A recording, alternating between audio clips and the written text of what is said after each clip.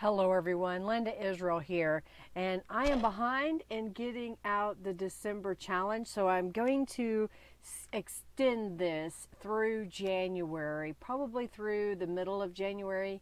I am not going to set a date right now because I am going to be going on a couple of trips in January, so we'll see if I can get something else recorded for the rest of January. My thought was, how about a floating pocket? The idea is is that you would have a pocket full of goodies that could be put anywhere in a journal. You could paper clip it, you could pop it into another pocket. We're going to use book pages. I'm going to show you the basic concept of folding the book page, but then I want you to explore this idea and make it your own. Hey, by the way, if you will, Give this video a thumbs up, share it with your friends. If you haven't subscribed, please subscribe. Check the description box to links to the Friendly Junk Journal People Facebook group where this challenge will be posted. And you're encouraged to make a floating pocket and then take a photo of it and share it within the event in the group. All right, so I got a book page. Now, your book page could be a different size. It's whatever size you want to work with. This particular one is nine and a quarter by about six inches. You could go bigger, you could go smaller. That will help you in determining what size pocket you're going to have. All right, so what I've done is I've pressed a little bit of an edge on one side. This is going to help me be able to use the full width of my pocket when we get to the final steps. So I'm going to take this piece and fold it over on top of the first piece. And now I want to figure out how tall do I want the back portion of my pocket. You know, sometimes I like about maybe three to four inches. So one, two, three, there's four. And I will fold this up even. Now, I've got this excess. Now, you could use this as it is, but I think what I want to do is cut off a portion of this. So I want to make my bottom pocket, oh, I'm going about two and a half inches, and I'll fold it. Again, it just depends on my mood and what I want to do. And then what I want to do is just trim off this portion. Now you can save that because it is the beginnings of another little pocket. So I'm just going to toss that over to the side. Now what I want to do is open this back up and I'm going to go across this portion and fold it over. Why? Because book pages can be rather thin and if you're not careful they will tear. So this way it gives it a little bit of strength to it. Okay, and then I will fold this pack back in and fold this over and then fold this up. So now we have a basic pocket, okay? You will glue it under here to get that sturdy, glue this piece to get that sturdy, and then you'll put glue on top of here so that when you close this over, you'll have a tube, and then you can put a little bit of glue here and here. Let me show you one that's finished. So here's a smaller one. So what I did was I glued the tube, I folded it up, I added some other papers to it. Now there's a pocket here and actually if you depending on how you glue it, you could glue it to where there's a pocket in the back. It just won't be the full width. And then there'll be this pocket in the middle. And then you'll have this pocket here at the top. Okay? And then decorate it. Here I added a piece of coffee dyed paper. I've got a bookmark, a, another bookmark, and then this was a bookmark, but I folded it in half and added some images from Calico Collage to pop that down in there and there. All right, so let's make a bigger one. So I've got a book page here that I have already folded over this edge and I've already folded over this edge. This one's going to be a lot bigger. So I've already gone around the edges with some distressed inks. I'm going to come down this side. And this pocket's going to be a lot bigger. So it is roughly a little over four inches wide. I'm using an old dictionary paper page. So this pocket's going to be a lot deeper. So when I look at it, I think I made it one, two, three, four, almost five inches tall, and I made the total total tallness of this is one, two, three, four, five, six, seven inches. All right, I want to go ahead and put glue here and here, and then pop that over.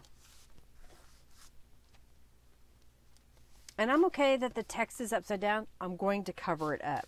So let's get my little pieces of paper here. So I have this little piece of paper that I want to put down. But when I was looking at this, I was thinking that maybe it needed a little bit more color. So I'll grab mowed lawn and a scrap of paper.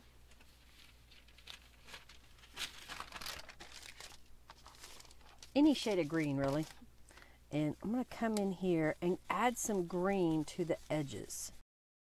You know, and I've decided I'm going to go ahead and do the whole thing up here at the top too, adding a little bit of green.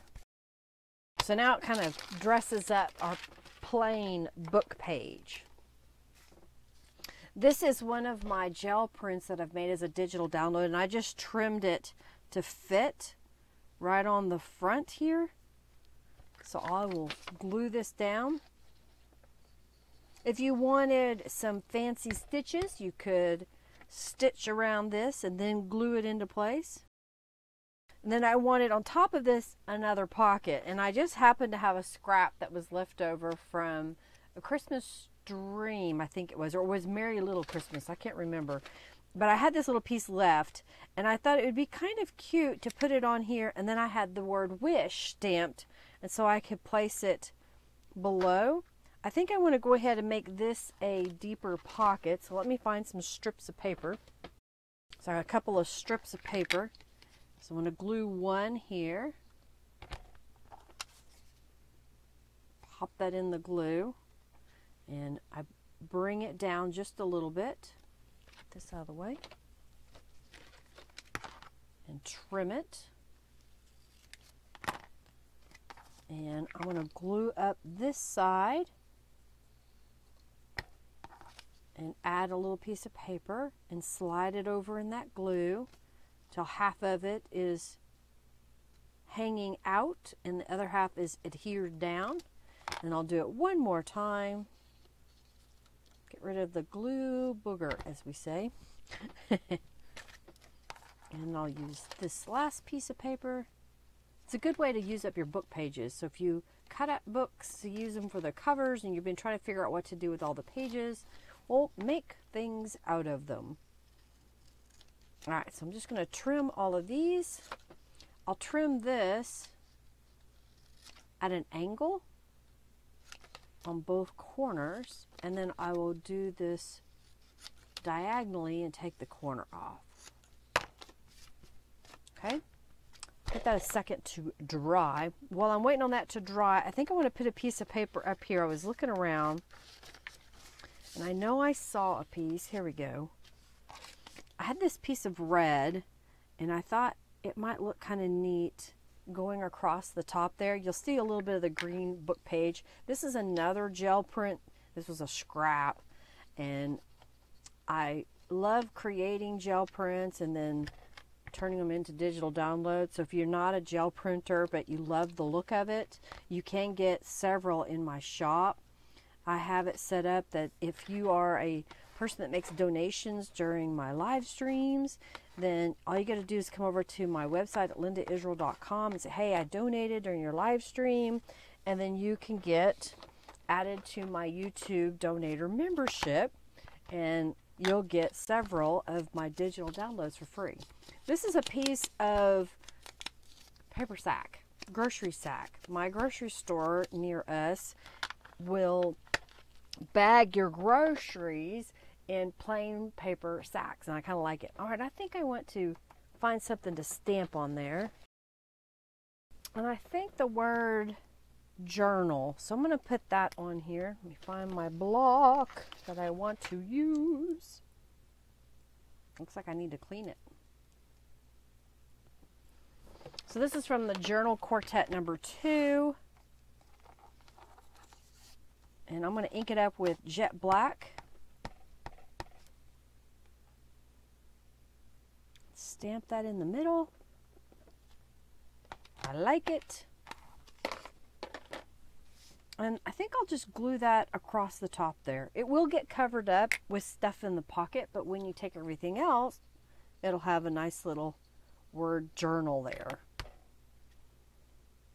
Pop that down. All right, so this portion should be dry.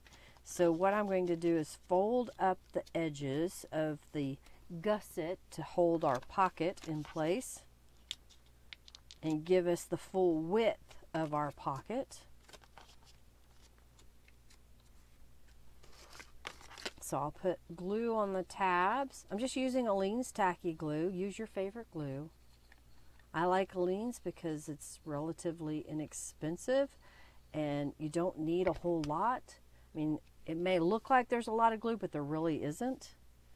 And I think I want to put this just up just a smidge from the bottom so you kind of see the borders. Press that into place. And then I think the word wish I want to put across the, at a diagonal there. So I'm going to put a nice little generous amount of glue. And this was just some sequin trim that I glued in place. Okay, I like that. All right, so I'm going to flip this over because I want to do the back. And for the back, I took another piece of that gel print and I've already gone around the edges with some distress inks and I cut it to be just a fraction smaller than my pocket. Now, if you want to leave this part blank, you could. You can then glue this directly into your journal, but we're trying to make a floating pocket, so it's all nice and decorated. We got some neat papers on it that we can use for writing. And then I have a piece of Tattered Angels dyed paper. So instead of using coffee, I used Tattered Angels. I sprayed it a little bit and then I laid another piece on top and kind of positioned it over and over, just kind of mopping up that ink. And so this is what it turned out to be. And I just love the colors. And I thought I would just put that pretty much in the center here. And let's find some decoration to put on it. So I pretty much centered that in the middle. I see, well, what do I want? You know, I, I always kind of wait sometimes to decorate everything because I may come up with something else that I want to use instead. These are a bunch of calico collage images what if I did something like, that looks kind of neat, doesn't it? With the little girl in the corner there. And then maybe we'll find something that fits up there. I have some stickers. Let's see if any of these look like we want. You know, maybe I'll put one of these stickers at the top. I'm going to glue this down right across here. And then we'll glue the poinsettia kind of coming out the corner.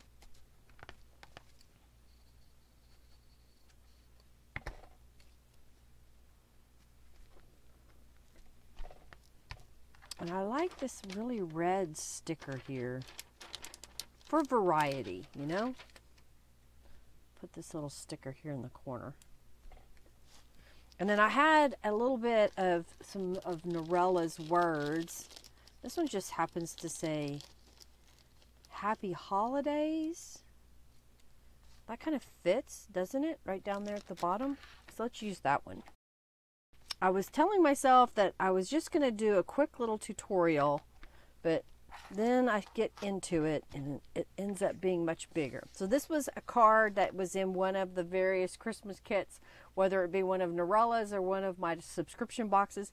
Know that you can get mine as a digital download. Of course, all uh, download as well as Calico Collages are all digital downloads as well. So I'm going to put that in here. I've got a pocket back here And I happen to have just a piece of cardstock that fits. So I'm going to pop that into, I'm going to make sure I got the pocket where I want it. So it pops into that pocket. Now it's a little bit going to cover that up, which is okay. And then I've got a tag that I thought would be really cute in front of there. And then I wanted something to go in the big pocket here. And I've showed y'all in the past where I cut up a paper sack and use it for the pages. Well, this is the gusset of the paper sack. And I thought that would be kind of cute to put it in the pocket. But I didn't put some distress inks on there, so let me do that. And while I'm doing that, I'll think about what do I want to decorate this little piece with. Okay, I think what I want to do is stamp on it. I'm going to grab a scrap of paper here. I've got the mistletoe stamp. It's a stamp I'll offer in my shop. And I think I want to stamp it kind of going across the edge and maybe even kind of come down the side a little bit.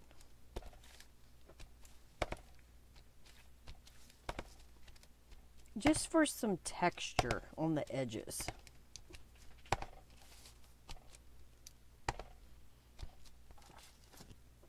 That kind of looks pretty, doesn't it? Now we could put one on the inside, I think I will. So I'm going to put one coming out from this corner and let's have one coming up from the opposite corner. And while we're at it, we might as well put just a little bit of something on the back. So let's put it right in the middle and stamp that. That's kind of cute. All right, for the front, I have a little bow. Do I want to do something like that? Or I could save the bow. Now that covers it up.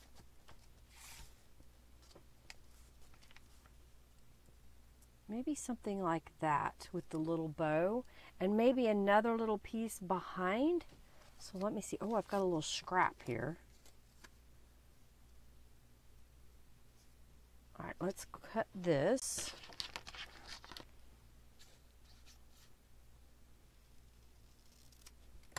Now let's see what that looks like. To-do list. And then we'll have the little bow. I think I like that. I'm going to glue that together. Add some distress ink to the edge. Oh, and I should have showed you this. Um, if you've got one of these daubers and you're always chasing it because it rolls off your desk, well, glue some bling on it, and then when you put it down, as you can see, it won't roll all the way off the desk. Mine kept rolling off, and I would just pick it up and grumble. And I finally decided, you know what? Why don't I just glue some bling on it, and then it'll be kind of pretty, and I can keep it from rolling off the desk. So I thought I'd share that with y'all. All right, so I'm going to go ahead and glue this piece down right about there. And then this is a little ribbon rubber stamp, or I think it's bow. I may have called it bow on my website. And I stamped it with gold embossing ink or powder on a red piece of paper. I like that. And I, I don't think this needs anything on this side. So we'll pop that. I'm going to open it up down in here and we have the decorations there. So here is one that I made as an example, and then here is the one I made today. So you can see, you know, using a book page, you can add all kinds of things, whether it be rubber stamping, digital images, images that you find, cut up some Christmas cards. See what you can come up with making a little floating pocket. It could have more pockets than I had. This one has one, two, three pockets. This one has one, two pockets. So it just kind of depends upon what you like, what you have, what you want to do with it, right?